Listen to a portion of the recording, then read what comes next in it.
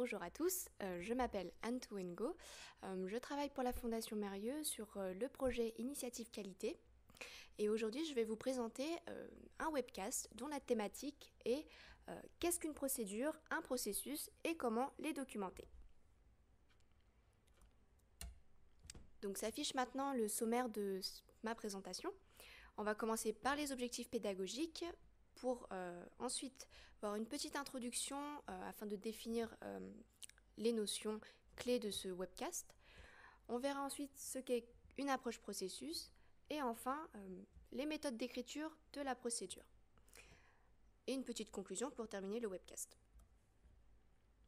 Les objectifs pédagogiques de ce webcast s'affichent maintenant. Tout d'abord, c'est de comprendre la notion de processus. Comment décrire ces processus, être capable de rédiger une procédure afin d'assurer une bonne gestion des documents qualité.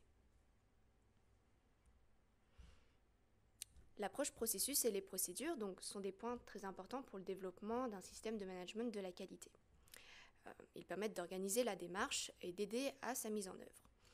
Euh, on va s'intéresser euh, tout particulièrement à la norme ISO 15189, dont les paragraphes qui sont rattachés cette thématique s'affiche à droite. On va trouver tout au long de la norme euh, certaines expressions, donc procédure documentée, intégration de tous les processus nécessaires, procédure requis par la présente norme internationale, qui, qui nous indique euh, qu'il y a un certain nombre de procédures à écrire, à mettre en place. Voyons maintenant les définitions des notions de procédure et de processus. Donc il est important de savoir distinguer la notion de procédure et de processus. Euh, elles sont souvent euh, mal comprises ou confondues, donc c'est euh, essentiel de pouvoir bien les distinguer. Donc qu'est-ce qu'un processus Qu'un processus? C'est défini comme un enchaînement d'activités donc qui va transformer des données d'entrée en données de sortie tout en créant une valeur ajoutée. En termes de documentation, on va vous demander une cartographie, euh, par exemple, hein, euh, une carte d'identité ou bien euh, des indicateurs qui permettent de mesurer l'efficacité du processus. Ensuite, on a les procédures. Ça va être donc une description des règles d'organisation, de la façon de réaliser une ou des activités. En termes de documents, donc ça va être quelque chose de formel, qui suit donc une certaine organisation, un certain, euh, un certain template, et euh, c'est un document donc qui est écrit. À ne pas confondre avec les modes opératoires. Euh, ce, sont liés, ce sont des documents qui sont liés à un certain poste, à une certaine fonction, et qui détaillent les tâches d'une activité. Donc ça peut venir euh, compléter les procédures et c'est également ce sont également des documents qui sont formels et écrits. Donc, les processus et les procédures font partie de ce qu'on appelle la pyramide documentaire. elle est représentée ici sur votre écran. Donc, en haut de la pyramide, on a les documents qui sont plutôt globaux, qui vont définir les directives, euh, euh, les objectifs de la structure. Donc on va y retrouver par exemple dans le manuel qualité euh, la politique qualité. S'ensuit ensuite les processus, les procédures, avec donc les modes opératoires et les instructions de travail qui viennent en support à la procédure. Les fiches d'outils et les guides méthodologiques peuvent également euh, venir étayer euh, le système documentaire. Et en bas, donc, les documents beaucoup plus précis et nombreux, les enregistrements. Voyons maintenant ce qu'est euh, l'approche processus, puisque la norme ISO 15189 et la norme d'ailleurs ISO 9001 dont s'inspire cette norme, introduisent la notion d'approche processus. Donc on va voir ce qu'est euh, réellement euh, cette, cette vision du système de management de la qualité. Tout d'abord, quels sont les intérêts de, de mettre en place une approche processus? Tout d'abord, ça permet de décloisonner les départements, les services et les directions. Donc on va rechercher euh, les interactions qu'il peut y avoir entre les services, les départements, euh, ce qui est très intéressant en termes euh, de réflexion autour de leur champ d'action. Ensuite, on va adopter une vision globale, transversale des fonctions dans l'organisation. Donc il s'agit de se détacher de la vision plutôt hiérarchique qu'on peut retrouver avec l'organigramme. Enfin, on a développé une démarche davantage axée sur la satisfaction client. Et pour finir, donc, donner une vision globale des activités au sein de la structure. Donc, dans l'approche processus, on va retrouver différents types de processus. Donc, on a tout d'abord le processus de management, donc qui donne la dynamique au système. Euh, c'est de ce processus où seront, que seront issus euh, les politiques, les objectifs, euh, voilà, tout ce qui va vraiment donner un but à la démarche. Ensuite, on a le processus de réalisation. Donc ça va être vraiment ce que le client, les parties prenantes vont percevoir de l'activité de la structure, donc c'est le cœur de métier. C'est ce processus-là qui va assurer euh, directement la satisfaction des besoins du client. Et enfin, on a le processus de support, donc qui va mettre à disposition les ressources nécessaires pour que le processus de réalisation, le processus métier, puisse fonctionner dans de bonnes conditions. Donc, euh, tous ces processus, dans l'approche processus, peuvent être euh, représentés d'une façon assez euh, visuelle, euh, qu'on appelle donc cartographie des processus.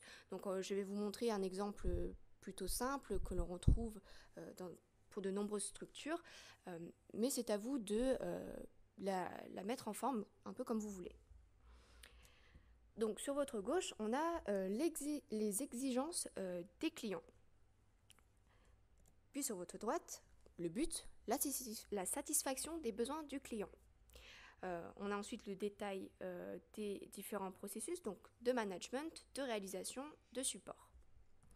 Dans le processus de management, on va retrouver tout ce qui est attrait à la direction, par exemple la revue de direction, et euh, également les processus d'amélioration continue. Donc c'est potentiellement dans ce processus qu'on va retrouver tout ce qui est attrait à la qualité.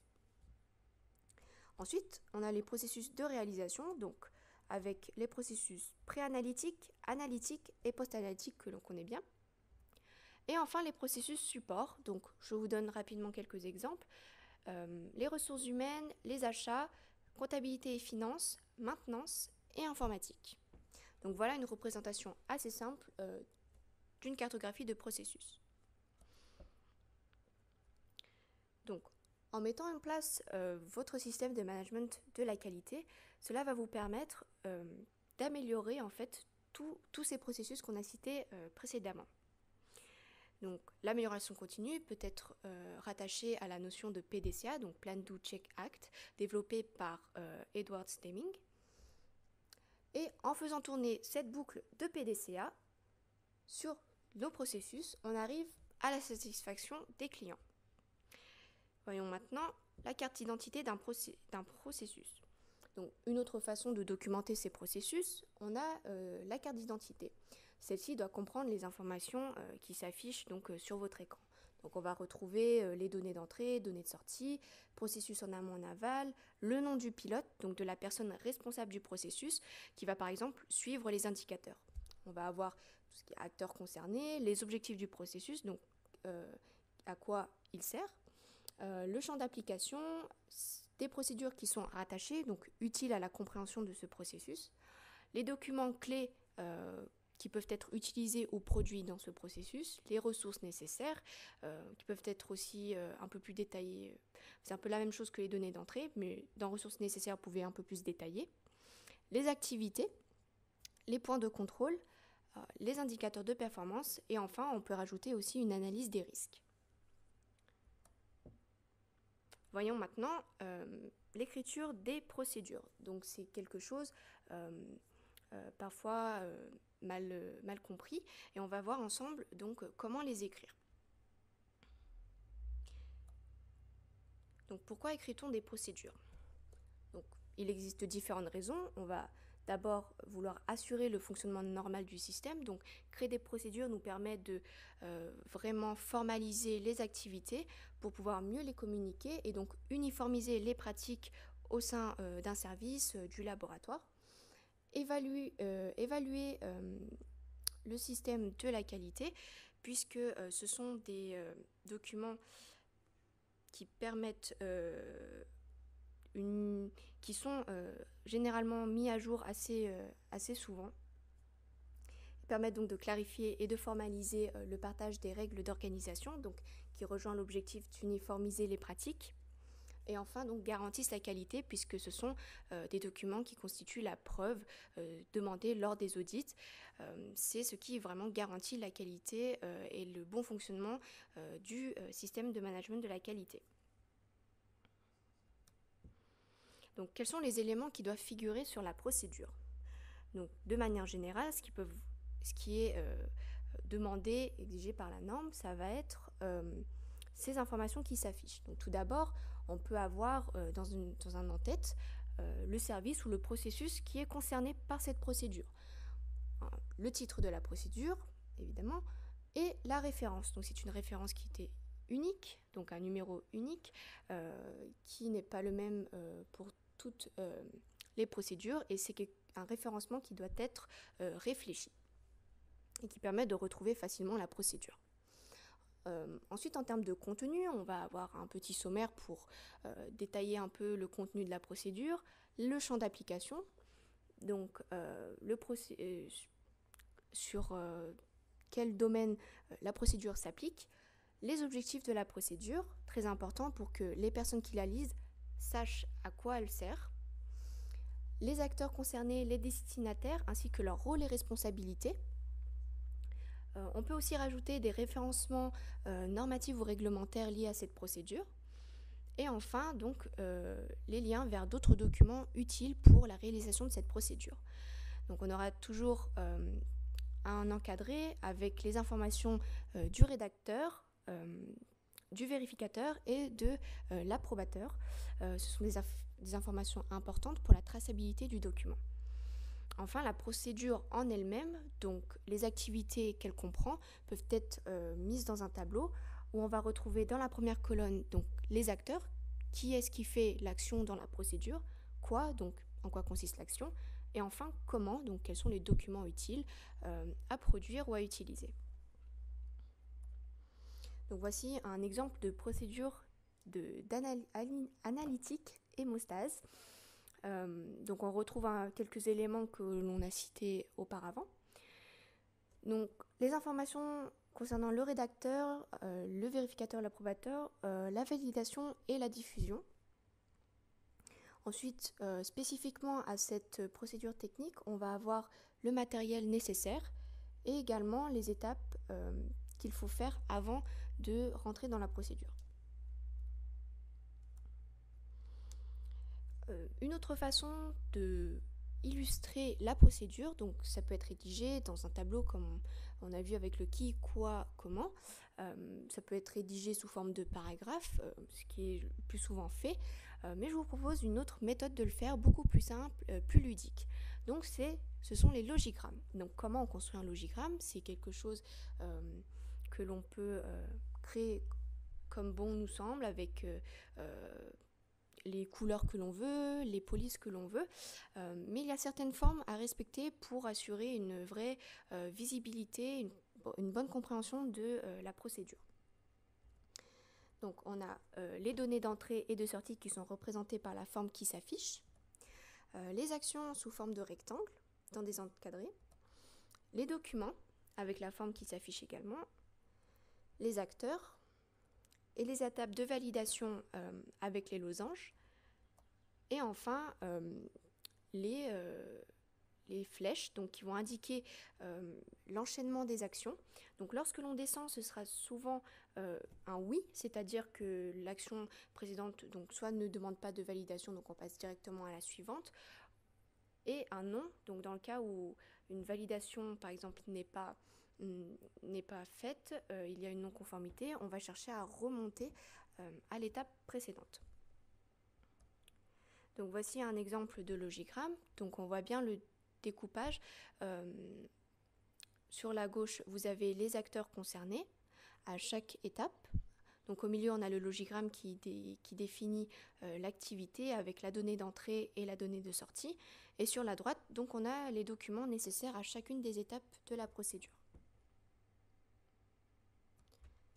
Donc maintenant, en termes de conclusion, ce qu'il faut retenir de ce webcast, tout d'abord, c'est que une procédure, ce n'est pas un processus. Un processus, ce n'est pas une procédure.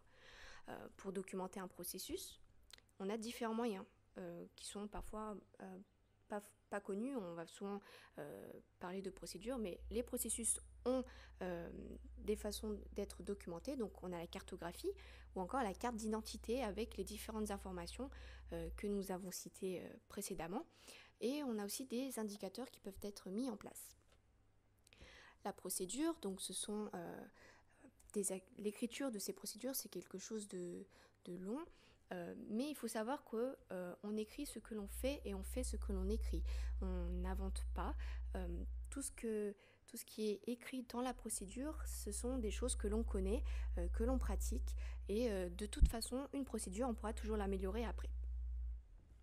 Et enfin, une procédure doit faire l'objet donc de suivre un modèle. Donc il y a euh, un template à prédéfinir avec euh, tous les, éléments nécessaires. Donc c'est un moyen d'assurer l'uniformité euh, des procédures, qu'elles se ressemblent toutes, qu'elles ont toutes les mêmes informations.